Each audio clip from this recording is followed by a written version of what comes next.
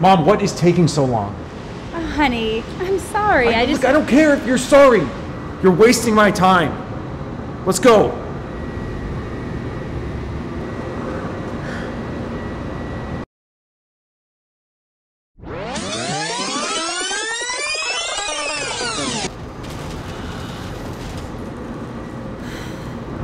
Oh my gosh, Martha?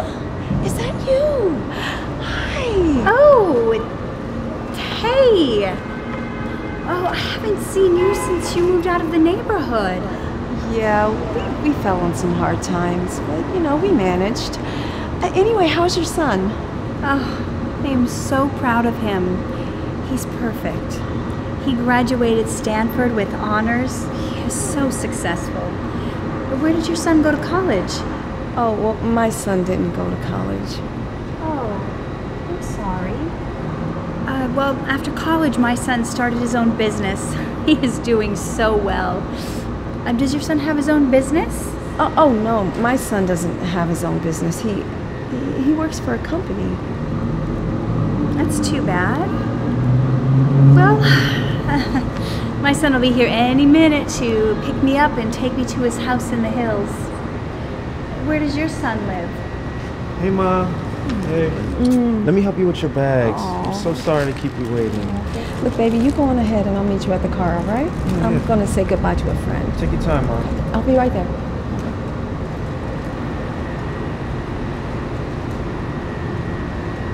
You know what?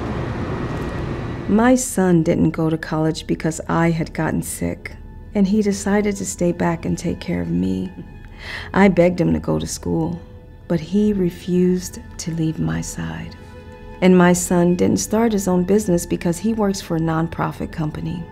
To him, it's not about how much money he makes, but instead about the difference that he can make in other people's lives. And my son, no, he doesn't have a house in the hills. He actually lives with me. After my husband passed, he didn't want to leave me all by myself, so he stayed around to take care of me. My son may not have a college degree, or have started his own business, or even own a fancy house in the hills. But I am proud of the person that he's become. Mom, what is taking so long? Oh, honey, I'm sorry. I, just. Look, I don't care if you're sorry. You're wasting my time. Let's go.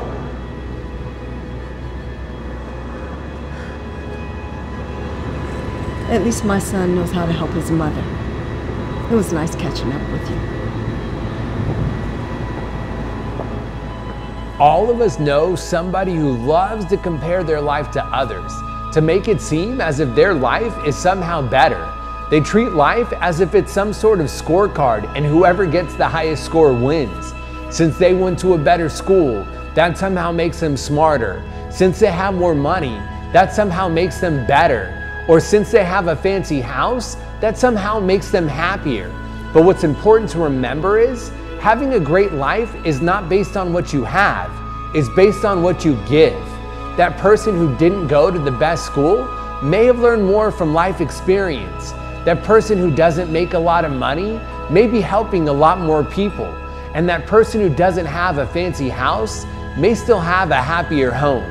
So remember, being successful won't always make you happy, but being happy will always make you successful.